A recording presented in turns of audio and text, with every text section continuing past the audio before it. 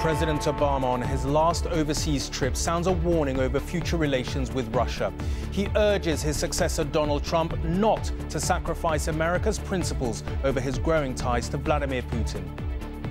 My hope is that the president elect coming in is willing to stand up to Russia where they are deviating from our values and international norms. With the world order shifting, a surprise name emerges as a possible contender for America's top diplomat. Also on News at 10 tonight.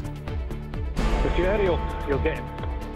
Okay. There's Elon, there's chaos, he stabs people and shot people.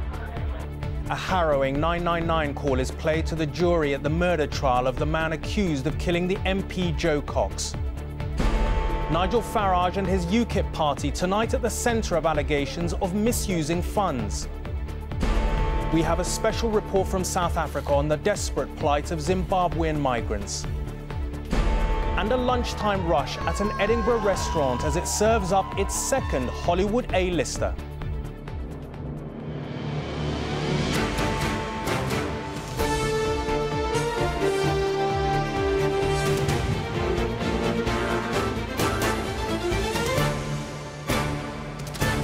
This is ITV News at 10 with Rageh Omaar.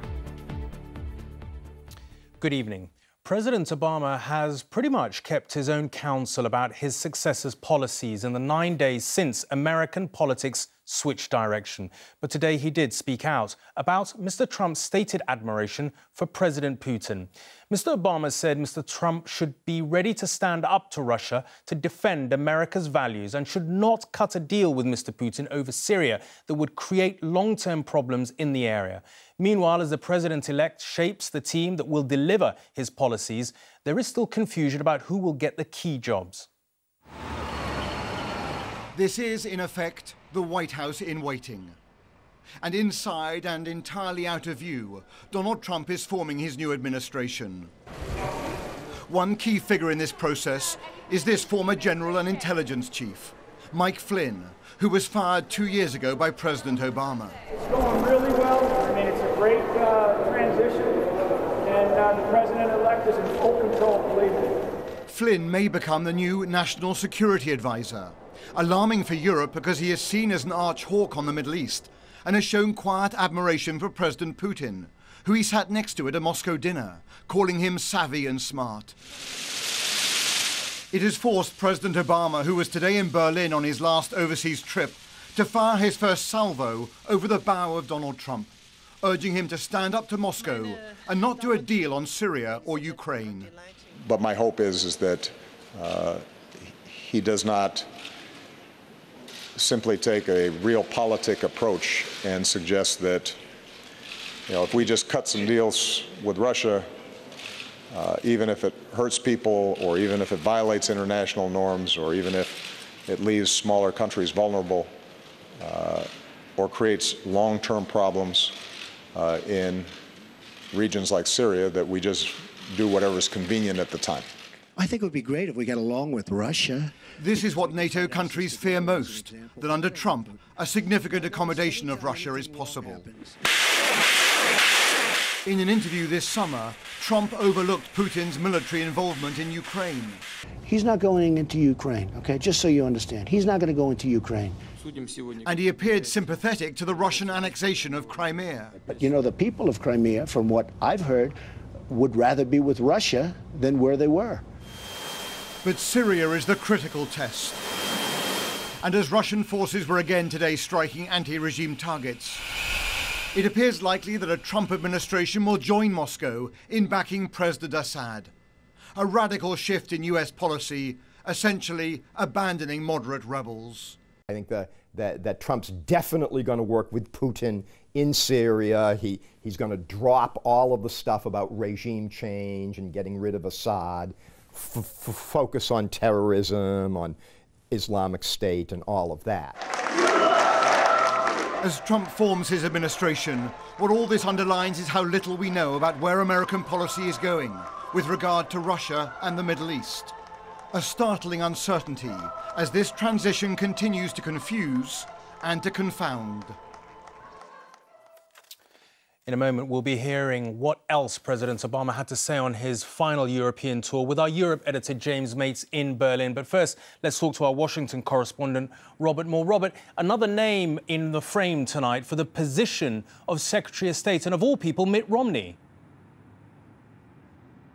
Yes, I mean, look, this town is suffering from kind of collective whiplash as ever more names, ever more uh, improbable names come forward for the top jobs. Uh, the latest uh, rumor appears to be that Mitt Romney is in serious consideration for Secretary of State. I mean, the reason, Rageh, that is so outlandish is that, of course, Mitt Romney is really the founder and the custodian of the Never Trump movement. If you remember, uh, back in March, uh, uh, Romney called Trump both a phony and a fraud and said his promises were as worthless as a degree from Trump University. And there's another reason it's baffling too. Mitt Romney has long been on the record as saying Russia is America's greatest geopolitical threat. And yet now, if, if these rumors are true, he might find himself sitting in the Situation Room alongside a President Trump and a National Security Advisor, Mike Flynn, who both have had notably warm words to say about uh, President Putin and about Russian policy uh, coming out of the Kremlin. So you can understand why officials here, why diplomats in this town, why foreign governments are becoming seriously confused about uh, where America is going in some of the biggest uh, strategic questions of our day. Head spinning times in Washington. Robert, thank you very much indeed. And James uh, in Berlin. Extraordinary warmth at the same time and words uh, for the outgoing president as he said farewell to his German counterpart.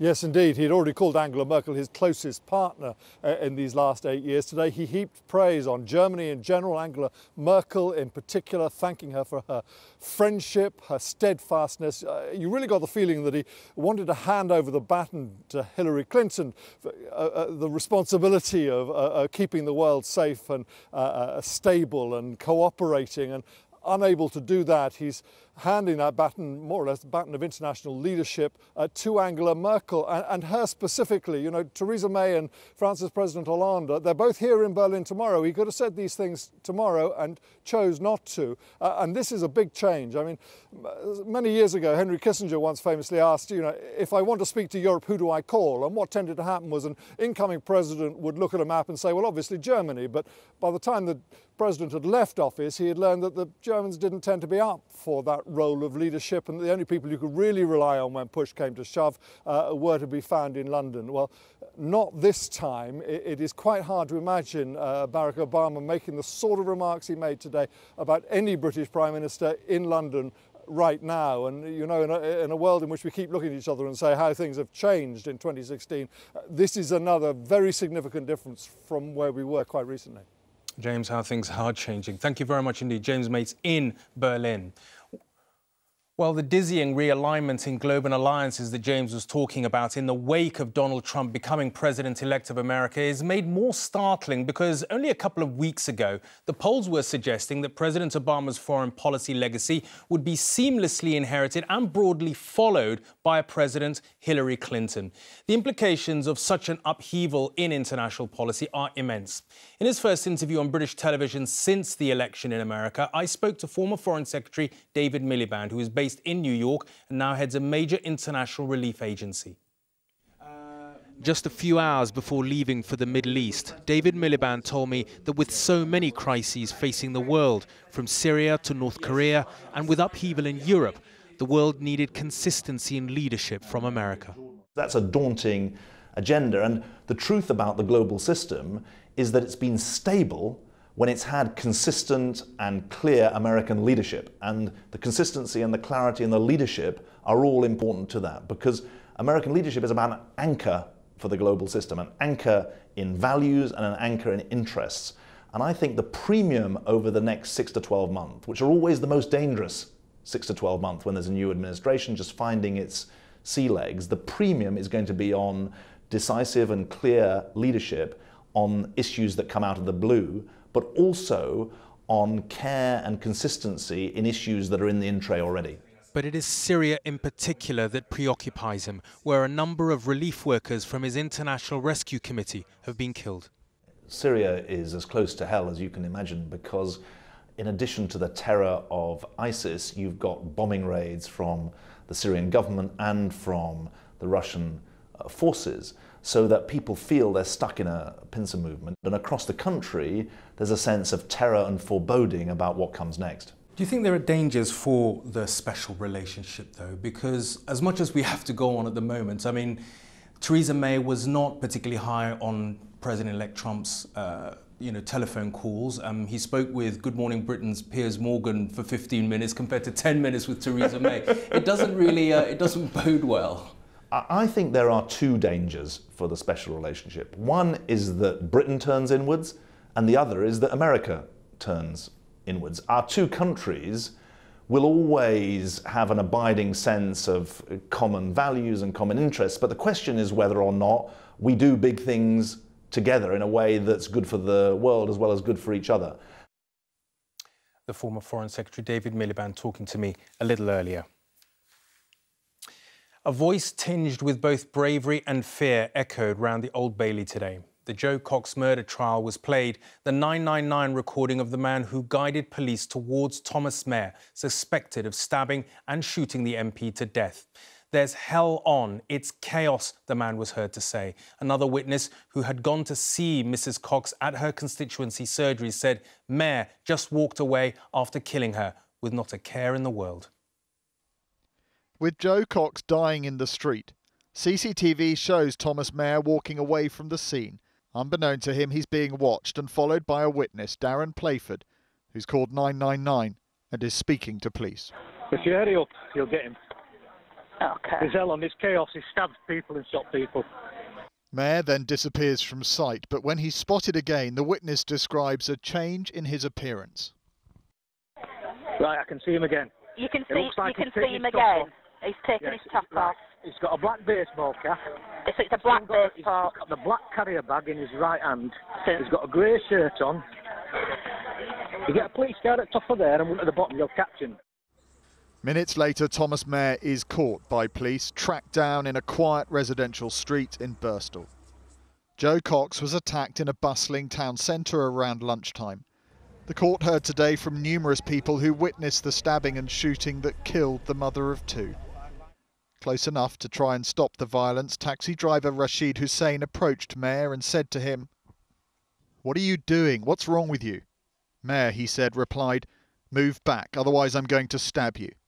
Hussein then told the jurors that he shot her twice. David Honeybell was in the library waiting to see Jo Cox in her constituency surgery. He saw her shots at close range. He said Mair stood over her, cocked his gun, and blasted her.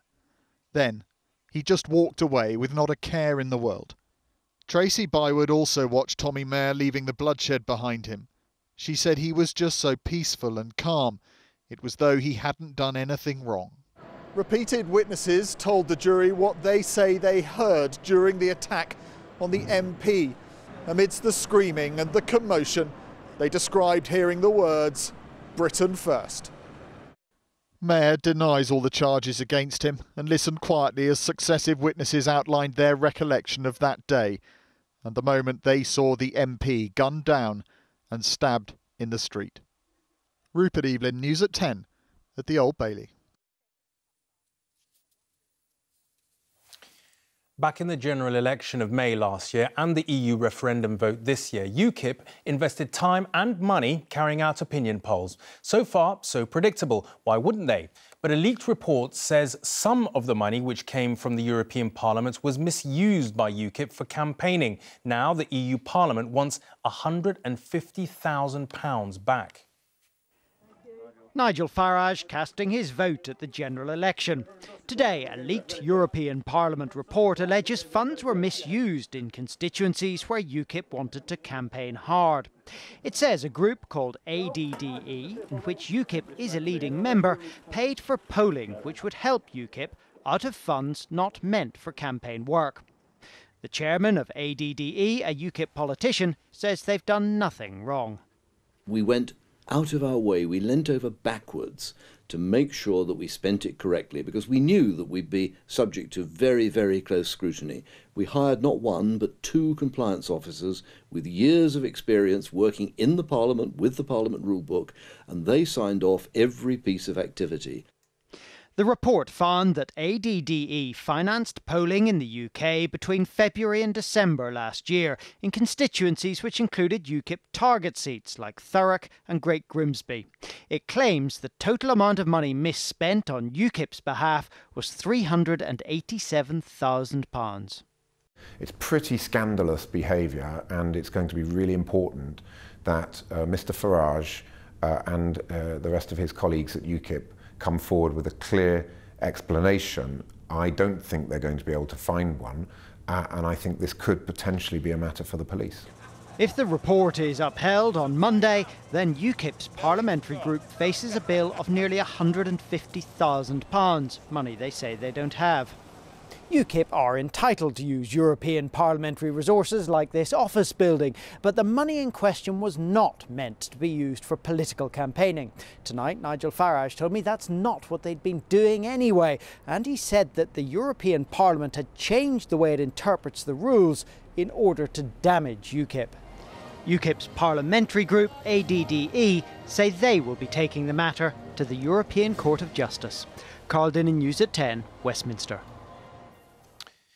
It seems the great British shopper wasn't spooked after all by the Brexit doomongers. The scary predictions, if anything, seem to have persuaded people to get out and spend. A boom in buying for Halloween was one of the factors. Sales in October rose at their fastest annual rate for 14 years, from 3.8% last October to 7.4% this year.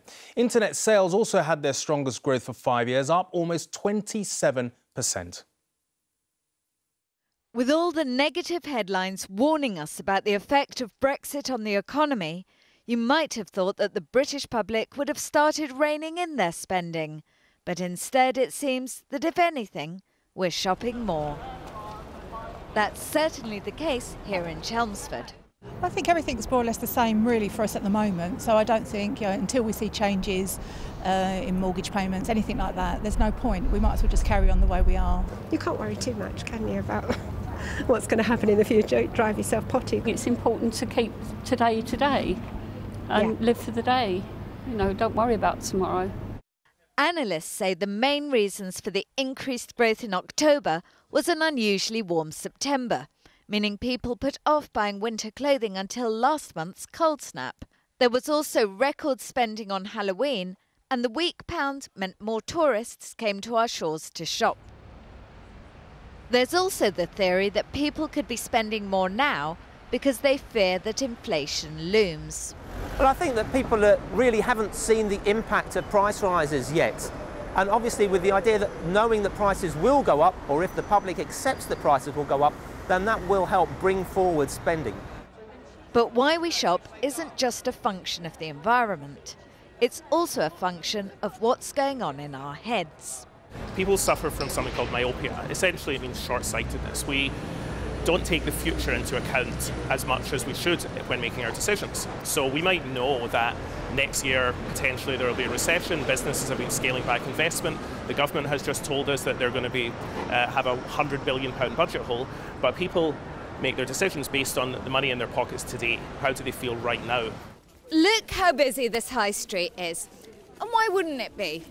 Unemployment is at its lowest level in a decade. Wages continue to increase. It might seem as if the referendum vote hasn't harmed the economy at all. But look around the corner and the picture is very different. We know that prices are going to go up as the effect of the weak pound filters through, and that wages are not going to increase at the same rate. And what that means in practice is that before too long, we're all going to be feeling the squeeze. Christmas presents may be what's on our minds right now, but next week the Chancellor delivers his autumn statement, and many will be wondering just how generous he can be. Noreena Hertz, News at 10, Chelmsford. If you are watching News at 10 on Monday, you may remember our latest report about vulnerable children being groomed not for sex, but as drug runners. Today, the National Crime Agency confirmed that these new gang-run distribution networks, which we highlighted, have been detected in nearly three quarters of police forces in England and Wales. Many of the Hillsborough families believe he is defending the indefensible. But today, the last serving senior police officer who was on duty at Hillsborough, Sir Norman Bettison, has been explaining why he has written a book giving his account of the disaster which left 96 Liverpool fans dead. Sir Norman says he has unfairly taken the blame over claims of a conspiracy to frame supporters for the disaster. The victims' families say he is looking for sympathy he doesn't deserve. I've been described as a monster. And the context for that description is Hillsborough. Accused of being part of an organised attempt by South Yorkshire Police to smear the victims of Hillsborough, Norman Bettison has always pleaded his innocence, and now he's written a book about the damage to his reputation. You've written a book about Hillsborough, which is effectively a book about yourself and you're styling yourself as the victim here. How do you have the neck to do that? No, that's that's that, that well that isn't fair because I, I I go to great lengths to demonstrate the empathy that I have for the uh, for the for the families. Norman Bettison was off duty attending the match when the Hillsborough disaster unfolded. He says he helped with the police response on the day, but in the weeks that followed, he was assigned to a team that collected officers' statements, many of those statements deeply critical of fans' behaviour. Victoria and Sarah Hicks were fans who died at Hillsborough. Their father has no respect for a man at the heart of the police response to the tragedy, a response that compounded his family's grief. He should be stripped of his knighthood and he should be just plain old Norman. Plain old Norman. Plain old Norman. He should go away. He should stop looking for sympathy that he doesn't deserve, and he should stop trying to give us sympathy that we don't want when it's not meant. Few here in Liverpool expect the book to be a bestseller. This bookshop wouldn't stock it, even if they thought anyone would buy it. The idea that he has something to say that he could not have already said in those 27 years when the truth was needed um, is laughable, really. And to be honest, it's an insult to Liverpool and to all of the families. At one stage, he was the chief constable of Merseyside Police. He says he wants people in Liverpool who blame him for a cover up to read his book and change their minds. For the last hundred pages, you're bleating effectively about what's happened to your good name. Not bleating, um, setting the story straight. Wouldn't any of us, wouldn't you, actually care if people were saying things about you that weren't true. Liverpool isn't buying it, but the Independent Police Complaints Commission has a copy and has yet to conclude its investigations.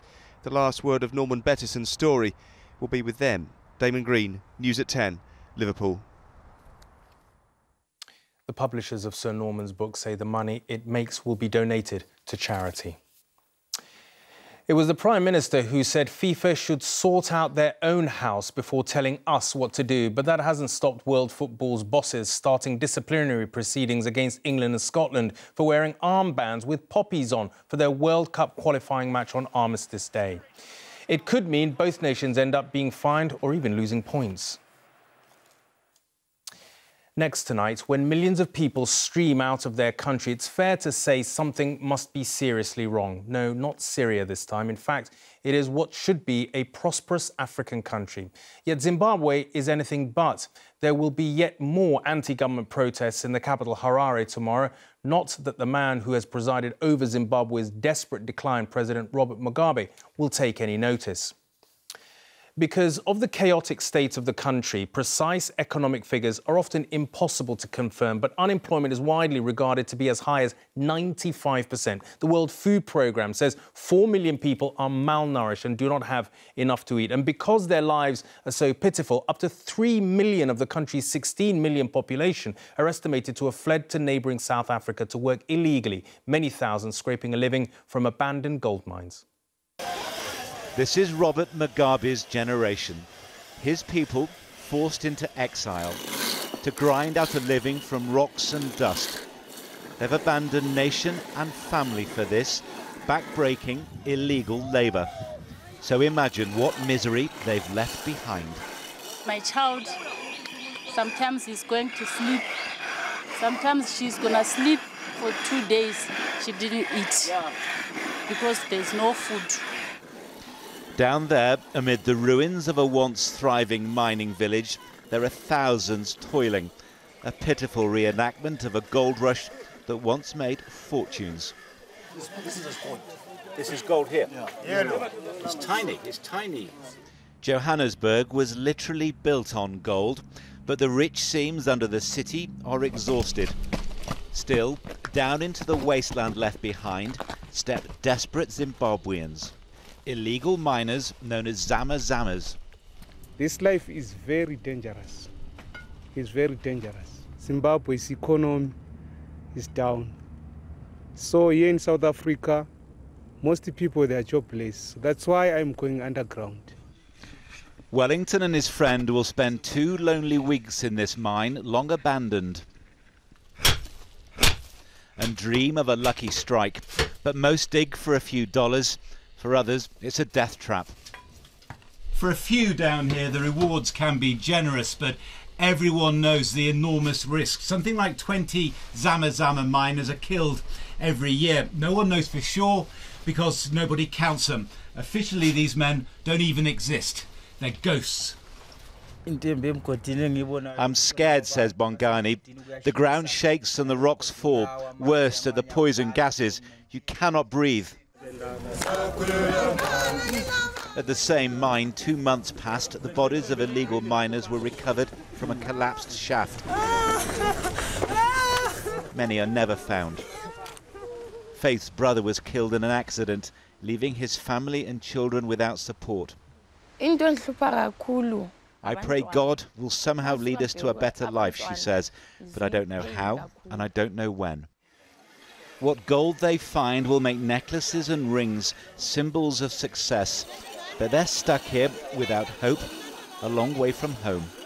John Ray News at 10, Johannesburg. The Zimbabweans migrant force in South Africa. Now, it was a year ago this week that George Clooney popped into a sandwich bar in Edinburgh with the Help for Homeless connections and caused pandemonium. Nothing like that was ever likely to happen again, was it? Well, actually, yes. Today, Leonardo DiCaprio popped into an Edinburgh restaurant, part of the same foundation. Cue mass hysteria.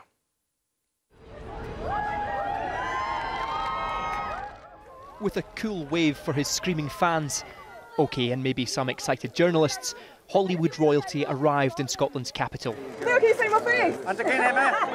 Some here had queued since 5 o'clock this morning to get this close. But if you ask them, they'll say it was worth it. Did Leo touch your tattoo? He just signed it, yeah. Oh, how, how, does that make you feel? Uh, overwhelmed and very, very, very happy. Amazing. What's he like? So lovely. He smelled lovely. It smelled lovely. It smelled lovely. Yeah. Were you that close? Yeah, yeah. When he walked by, I was like, oh. An apparently pleasantly fragranced Leo then went for lunch in a restaurant run by Josh Littlejohn of Social Bite. They employ people who've been homeless. George Clooney's visit last year was followed by a huge boost in donations. This place is great. Fantastic, you guys. Raising £365,000 in just two weeks. And the brains behind all of this has only just turned 30. George Clooney last year, Leonardo DiCaprio this year. These are celebrities that any charity would love to have involved. How do you get them? Well, we invite them to Scotland. I think Scotland's got a romantic notion. People want to come here. Um, and whilst he's here, we invite him to come and, to a smaller extent, champion our own cause, uh, which was visiting this restaurant and meeting some of the guys that now work here that came from backgrounds of homelessness. These three chefs all used to be homeless. Today they were cooking for an Oscar winner with one golden rule. Didn't burn anything. Aye, that's it. Just don't burn it, aye. After all that pressure, the chef's got a photograph. Another happy customer. Biffy was serving Leo today, and she kept a few mementos. I have the glass that he drank from, as you can see, DNA. I have his bin name card, and I have his autograph. After Clooney and now DiCaprio, excitement is already building over who Social Bite might bring over next year. Peter Smith, News at 10, Edinburgh. Who next indeed? Just before we go, time for a look at what's happening tomorrow. Theresa May might feel like the guest no one wants to talk to at a party. At a meeting in Berlin, she is due to meet the leaders of the other main EU countries, Germany, France, Italy and Spain. There'll be news of something happening at or to Buckingham Palace. Quite what remains under wraps till midday. And the dress that Marilyn Monroe wore when she famously sang Happy Birthday to President Kennedy is up for auction in Los Angeles late tomorrow night. I'll be here again tomorrow. Till then, from all of us on the programme, good night.